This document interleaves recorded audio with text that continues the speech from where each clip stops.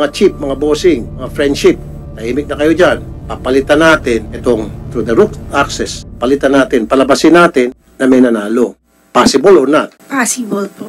Eh, 20 years na ako tumataya, wala pa rin ako nanalo at yung mga nanalo, hindi man na pinapakita yung muka, pinalobo yung price. Eh di, wow, merong kayong plinanta na tao para tayaan ang lahat ng possible combinations.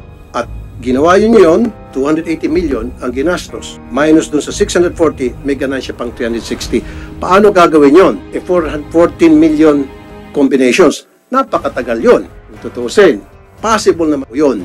Especially, itong 649 ay pinalunan sa online. Pwedeng manipulahin yung machine na para magkaroon na automatic sequence betting na in a matter of minutes or hours, kaya nang matayaan ang lahat ng numero. Pinalobo yung price, yung jackpot, para tayaan. Sino yung tumaya? Ano yung pagtaya? I will explain. IT expert. Ako pwede na paupo yung IT expert para Sa hearing na ito, ay obvious na naging maamo na sa pagsagot si Attorney Robles sa mga katanungan ni Senator Tulfo, ibang-iba kumpara sa unang hearing. Gayunpaman, hindi niya napaamo si Senator Raffy, at lalo pang nagalit ang senator nang makampirma neto ang iba pa nilang kapalpakan sa PCSO, lalo na ang 1.7 billion pesos na kita, ay savings na sana ito, na pwede nang gamitin para sa mga charity projects nila. Subalit ito ay ginastos pa din ng PCSO management, na pwede na sanang magpagamot, ng libo-libong mga pasyente at naipambili na rin sana, ng daan-daang ambulansya, wheelchairs, medisina, at iba pang charity, ayon sa mandato ng batas. Nakakalungkot, na ang 1.7 billion pesos na ito, ay napunta lamang sa iilang tao na questionable pa ang mga identity, ng mga nasabing nanalo, sa jackpot na ito, tulad ng hinala ng mga milyon-milyong netizens, na ang katanungan ay kung may nanalo nga kaya, o may pinapanalo na tropa nila bago pa tumaya, at sino-sino pang kasabwat dito. Pakinggan natin ang pangalawang mainit na hearing ng PCSO. uh, in our agenda many issues that needs to be tackled. We will tackle a very important and pressing issue that has been the main concern for a long time by many lotto players. And that issue pertains to the integrity of the game. Na ang tanong, talaga bang may nananalo sa loto? Hindi ba naman pula yung laro?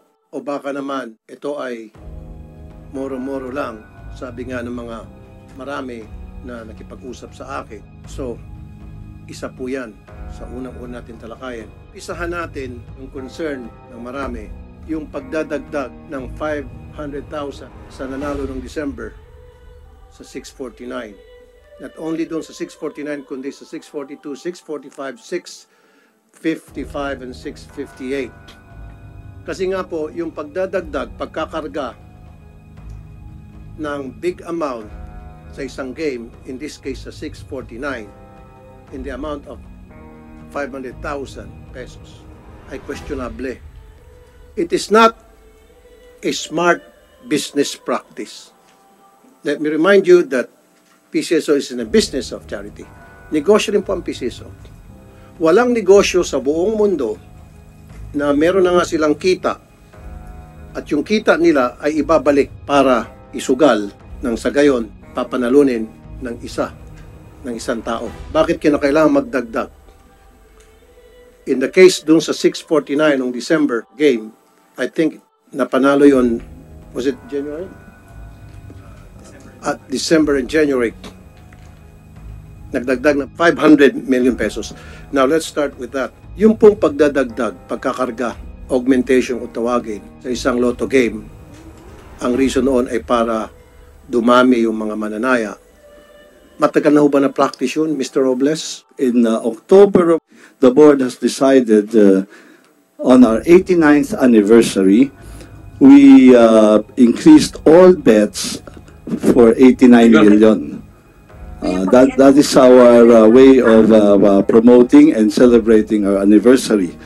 Uh, this was taken from the from the prize fund, Your Honor, and on this and which, uh, uh, as our records show, really increased our sales. The board has decided to create another promo, ang tawag po namin, Handog Pakabog. No? This is really a marketing uh, uh, a marketing campaign to encourage more and as a way of thanking the bettors to bet more and participate more para po pag-usapan yan at uh, ngayon to, ex- to excite the market. And I'm happy to inform you, Mr. Chairman, that for the last 30 days, bumalik na po yung ininvest namin doon and we made 800 million po in net. Okay, you made 800 million pesos out of that promo and marketing strategy na ginawa ninyo para to encourage the bettors, stimulate betting. 800 million.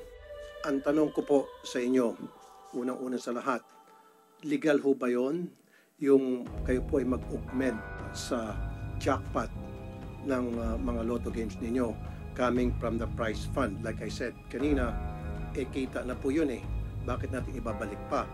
At number two, sabi niyo meron kayong surplus. Eh di, wow, kung meron kayong surplus, gamitin na lang natin dun sa mga very important projects. Ibalik natin sa charity, ibigay natin sa mga ah, ospital, paggamot ng mga chemotherapy, kidney dialysis, so wheelchairs, ambulansya. Bakit natin ibabalik doon sa loto para pustahan at panalunan ng isa o dalawang tao? It's not is a wise business practice. Do you agree? Kasi kung sa isang negosyo, hindi nila gagawin yun. Kasi kita mo na yun eh. Bakit mo ibabalik doon sa jackpot? Uh, Mr. Chair, ang tawag po namin doon sa prize fund reserve, it is really meant, pag nagdidip, kunyari, marami hong tinamaan, it was really meant po to be part of the prize fund. So as you know po, Mr. Senator, our uh, our revenues are already appropriated by law. So talaga pong may paggagamitin yan. Ay kung hindi po namin na gagamitin yon at the end of the year, it will be reverted back to as dividends Okay, bago ho kayo nag-decide ng board ng 89th anniversary nyo na mag-augment sa jackpot sa lahat ng games, lotto games, sa jackpot coming from the prize fund, did you do a thorough study para makita kung talagang dapat gawin nyo? Meaning, yung pag pag- pag-augment nyo ng ah, 500,000 halimbawa sa isang game, would that generate more revenue para sa PCSO in terms of taxes which nabanggit mo? Would that 500,000 maibabalik yung ininigay nyo, maibabalik doon sa prize fund? Nag-invest ka kasi ng 500,000, right? So when you invest something, dapat in, ina-assume mo na pag-aralan mo o na-anticipate mo na na yung 500,000 ibabalik. Kasi lalagay ka ng 500,000 sa 640 na halimbawa na games, i-augment mo, eh, kung ang babalik lang dyan ay 10% o 15% o 20% o 50% pa, wag na. Dapat kung nag-invest ka dyan ng 500,000 augmentation doon sa isang jackpot sa 649, dapat ang balik niyan, hindi lang 500,000 or more pa dapat. Ganun dapat ang mga ginawa niyo study kasi kung hindi, wag niyo sana ginawa yon.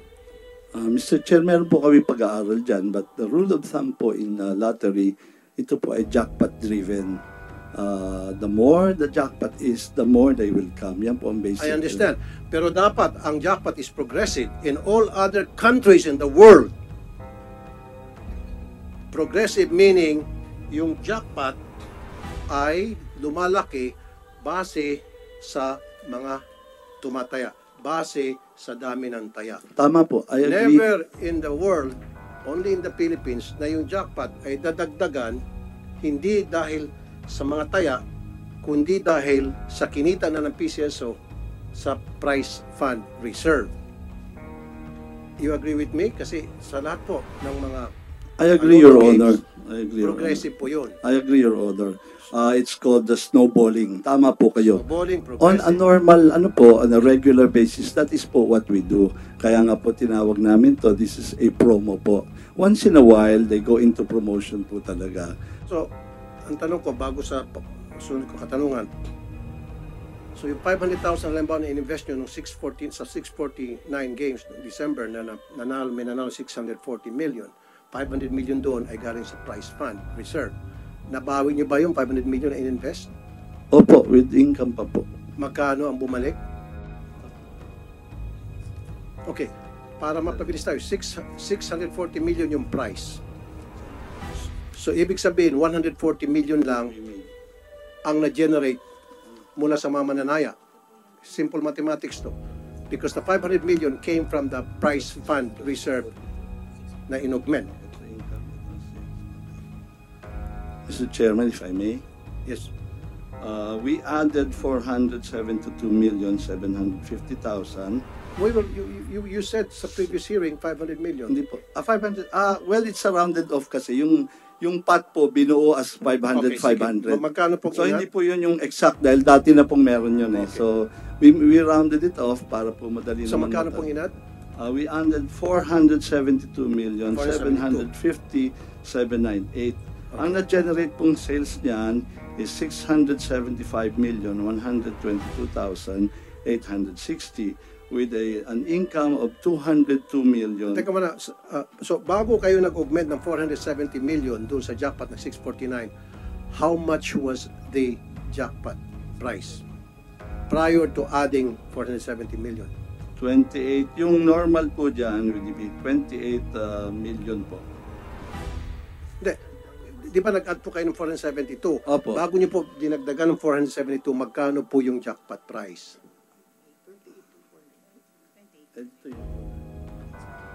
Uh, 28 million po, 249,201. So 28 million. Opo. Okay. So we added 472 million and the sales from that uh, from that promo from from from that action po was uh, 675 million 122 860 uh, netting us 202 million 372 061 po. So doon sa dinagdag yung 472, bumalik, magkano bumalik po? 675 po. 675 ang balik. Opo. So meron kayong gain na 100. 202 po. 202 372. The reason why I'm asking that, uh, Mr. Robles, ito yung issue. Sa 649, 14 million ang total combinations. Tama? Opo. You follow me? Lahat Opo. kayo? Sa 14 million combinations, you times that sa 20 equals to 280 million. Opo. Tama? So, kung ima-minus mo yung 280 sa 640, kasi yun ang naging jackpot eh. Tama? Is equals to 360 million. So, napapalo niyo pa ako. Now, lumilitaw, ayon po sa mga taong ah, nag-reply sa akin sa social media, mga taong nakausap ko, yung mga mananaya, pinalobo yung price, yung jackpot, para tayaan. At sino yung tumaya? At paano yung pagtaya? I will explain. Meron ba tayong ano rito? Ah, IT expert? ComSec? Sa, hindi, dapat third party IT expert. Walang kinalaman sa PCSO, walang kinalaman sa Pacific. DICT? Okay, very good. Para magsabi kung totoo ba itong mga sina, itong concern, kung meron bang basic, basis itong concern na maraming mga mananay sa loto. Okay. You're there and you've been listening kanina pa. Good morning, Mr. Chair. Um, Uh, good morning to you. Um, And state your name, please, ma'am. I'm Attorney Hazel Bianca Ortega from Attorney. the DICT. Okay, pwede natin lagyan ng pangalan. Si ma'am. Okay, um, Mr. Chair, uh, first we apologize because right now we don't have any technical experts um, that focuses on online games as of the moment. However, we can um, commit to submit our position paper upon um, gathering all the information that we could discuss in this platform, espe- um, most especially in coordination with other um, representatives with other government agencies also. Mr. Chair, thank you. Attorney Ortega. Okay, uh, Mr. Robles and uh, Mr. Chua, Akua, Chairman ng PCSO. So, nandun na po tayo sa 2060 million. Ang sinasabi ng ilan, merong kayong plinanta na tao para tayaan ang lahat ng possible combinations. Ginawa yun yun, 280 million ang ginastos. Minus dun sa 640, may ganansya pang 360. Paano gagawin yon? E 414 million combinations. Napakatagal yon. Kung tutuusin. Uh, DICT, you're still following? Now, ang sinasabi ngayon nila, possible naman daw yon. Especially, itong 649 ay pinalunan sa online. Pwedeng manipulahin yung machine na para magkaroon na automatic sequence betting na in a matter of minutes or hours kaya nang matayaan ang lahat ng numero. You follow me, DICT? So is that something, Yes, Mr. Chair. lang, is that something, is that possible? Um, Mr. Chair, as far as we understand, um, the intricacies of the system, um, with respect to online gaming and um, specifically for Lotto games, are very unique and different um, from one another. That's why we really need to um, also um, in uh cooperate uh, we also really need the cooperation of other government agencies for us to understand how their system works and um uh compare it vice versa with what we know right now in our department mr chair Uh, what's your reaction, uh, Mr. Robles? Uh, your concern, Mr. Chair, is very valid. We understand that you really wanted to get at the bottom of this. But uh, uh, kami po ay tumataya. Ang laro po namin, ay, you have to bet it actually. Yung system betting, which is actually with the e-lotto, uh, is actually only for six days yung advance nila. Ano po? So, uh, we don't know of yung sinasabi yung ganyan po karaming massive voting. Uh, hindi ko po alam paano po gagawin yon.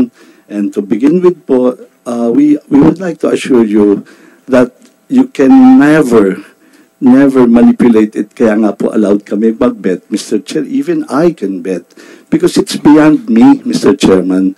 Uh, even if we wanted to, with the system we have po, we cannot. Kaya uh, I take ex- exception gano'n na kayang panalunin, no?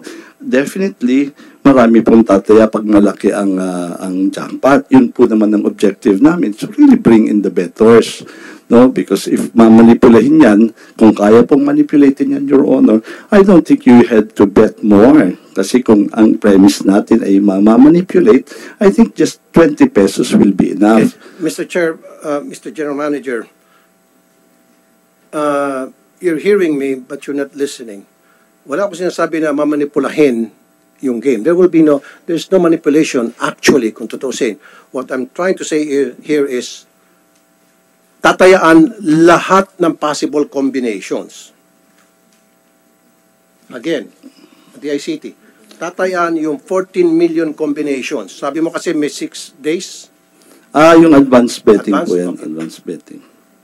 Um, Mr. Sir, Chair, sir if po, I may, Sir, sir let, let me finish. Tatayaan po lahat na itong 14 million combinations. How would that happen? Kasi kung 14 million, hindi naman pwede isang tao taya dito, taya doon, taya doon. Magulo at impossible. Pero pwedeng gawin ng isang tao lang at merong siyang kasabwat sa Pacific online. Kasi di ba yung 649, it was one through Iloto. Tama? hindi po sa ano po yan, sa stand-alone po yung uh, Okay, over the counter. sige. Okay pa rin ako dyan, kahit na standalone. Okay, ngayon, tatayaan lahat ng possible combinations. In matters of days, uh, what not not days, in matters of hours, may konting adjustment doon sa machine para mag ma, ma- matayaan lahat ng combinations. sa PCSO, pwedeng magkaroon, not in sa isang bodega dyan, sampung machine, walang gagawin, every second, every minute, every hour, kundi magge-generate ng taya hanggang sa makover na yung 14 million combinations in matters of hour, in a matter of hours. After 24 hours, bingo, 10 machines, natayaan na yung 14 million combinations. That is the reason back why nagkaroon ng duda yung pagdadagdag. Kaya nga, I'm here to tell you, I will stop that practice ninyo na mag-augment from the price fund. Mr. Chair, our Uh, records will show. augment sa jackpot coming from the price reserve fund. So, you follow me, uh, Mr. Robles? But Mr. Chair, uh, if I may, uh, betting po on all combinations is a right of anybody kung it doesn't guarantee anything po if kung assuming somebody betted on the all the combinations which is allowed naman po if you can if you can it doesn't even guarantee you that you will get the the jackpot by yourself no Yes. Paring dalawa kayo, tatlo kayo, Yes. apat po. That's number one. Number two, our record shows na hindi naman po binetan po ang lahat ng combinations on the day po ng tinamaan. So, you can show us that record Opo, opo. na Opo. hindi tinayaan Hindi lahat. po. Kasi yun ang concern ng mga Opo, bettors. hindi po, hindi po natayaan. And you will also show us, hindi lamang sa 649, so sa lahat ng games. Opo, opo, 642, 645, 649, 655, and 658. Yes, Your Honor. Yes, yes, Kasi yun ang concern ng mga Opo, bettors. opo, opo. So show us the records na hindi lahat ng combinations ay tinayaan. Opo. Kasi pag lumitaw na lahat ng combination ay tinayaan para manalo, then doon nagkaroon ng house show kung tawagin. Well, sabi ko nga po, well, to Hindi lang sir, k- kailangan lang sagutin mo lang. I need a record Opo, opo, we'll give you po now if sa if lahat ng po. panalo, hindi tinayaan ang lahat ng combinations. Opo. Okay. Now, isa pa, dito sa nakausap ko na IT experts. Sample, tataya sa Novaliches ng numerong 1, 2, 3, 4, 5, 6. Okay.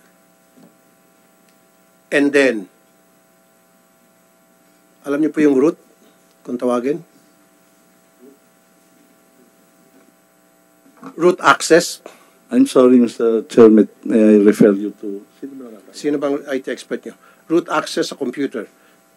Do, do, Yeah, the, do you know uh, what I'm I- saying? If you're really an expert sa, sa, ano, IT, if you're really an IT expert, you should know what is the root access means. Okay. So, naintindihan. Nagkakaintindihan tayo. At least meron isa dito na nakaintindi.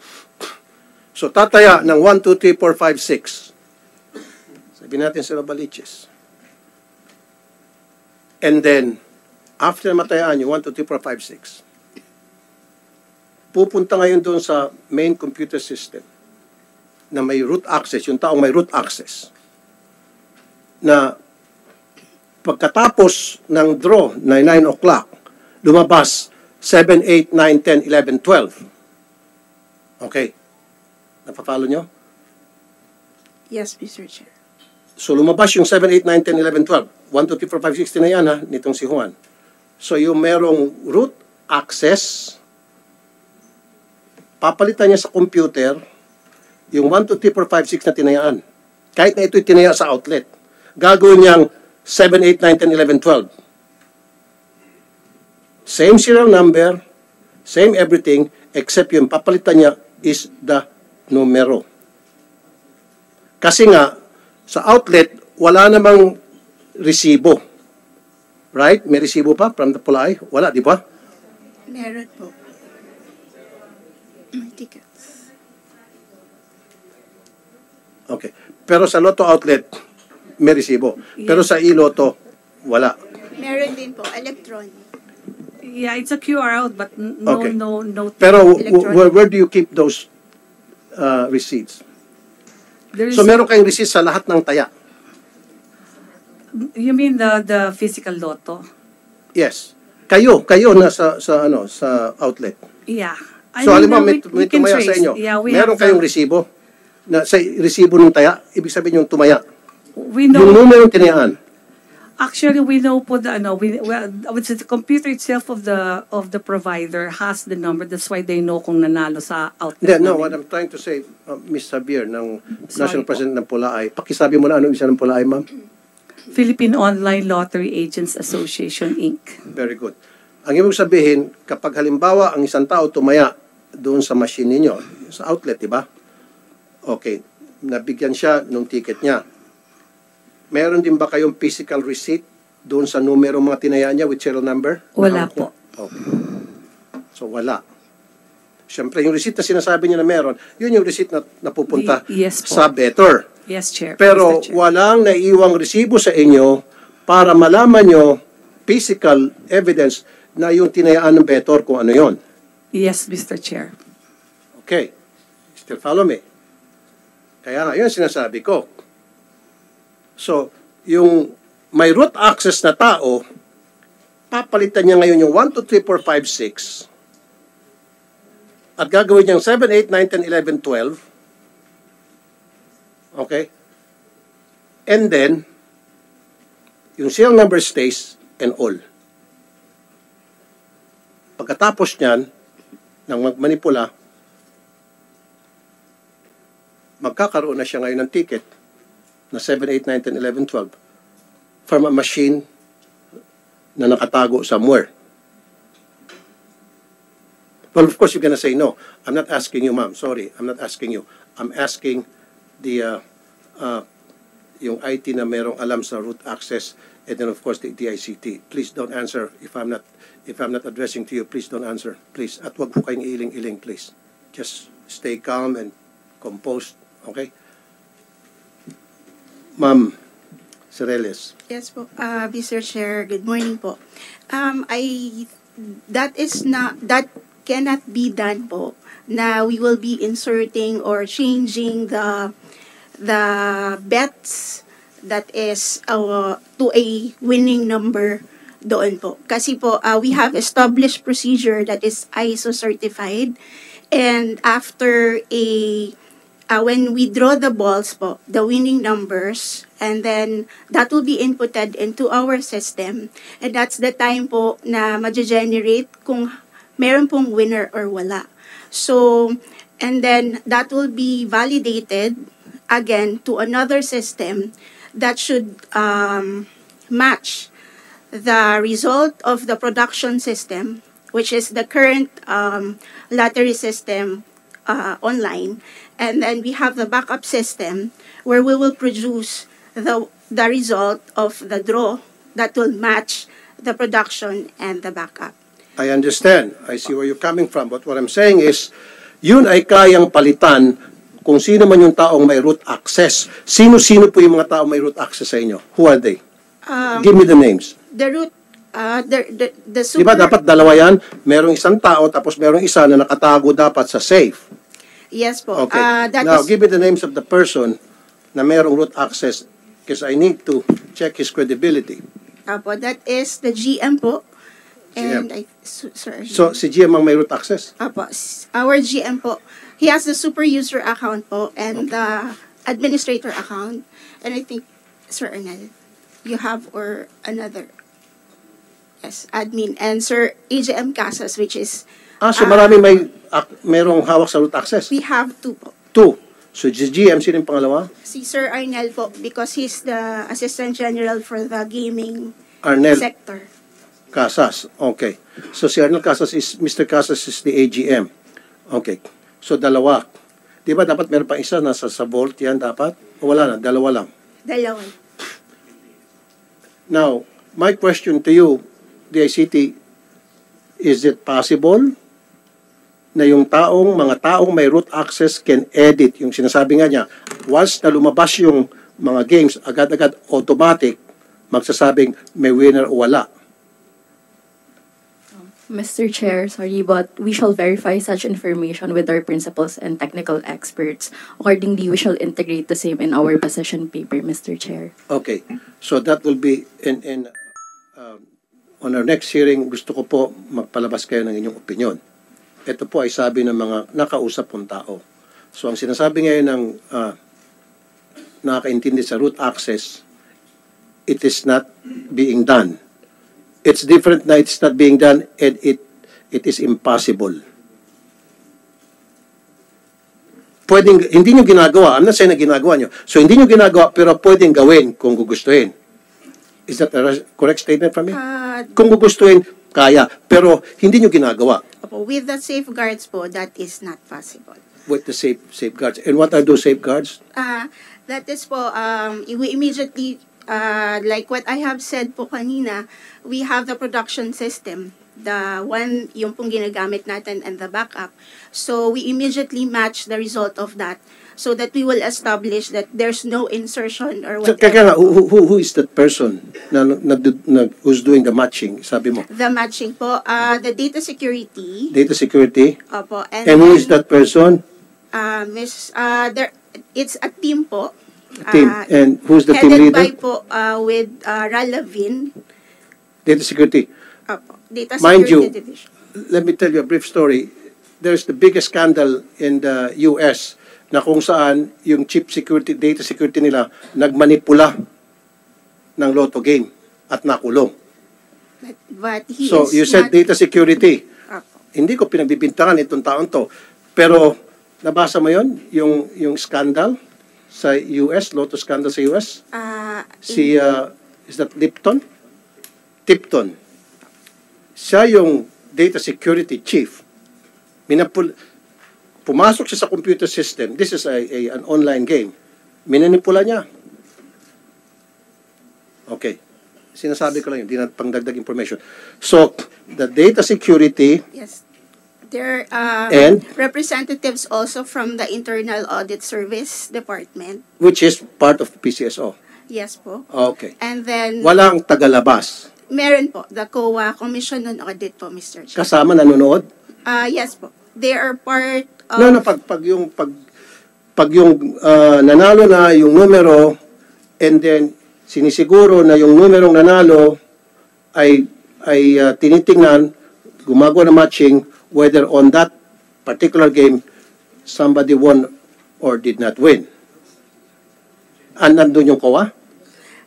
Yes, uh, part of the audit po, sir. Hindi nga, hindi, kasi binanggit mo yung COA. Okay ako sa, gusto ko dapat nandun yung kasi kung kayo kayo sa PCSO, eh may pagdududa pa rin sa taong bayan. So dapat may independent. So meron taga COA. And who is that from COA? Nandun ba talaga mismo yung COA physically present? Yes po, Mr. Chair. They are always there po. For They, they the- are, so bisa pa maraming taga COA.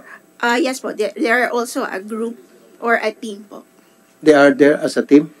Uh, yes po, there are representatives po for every draw to audit. Same representative all the time?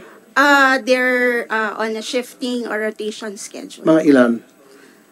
How many sa ko? Maybe 12 to 15 po. So 12. Alam mo kung ba't ko tinatanong to lahat? Para masatisfy. Itong lahat ng katanungan ko, galing to, hindi to gawa-gawa ko lang.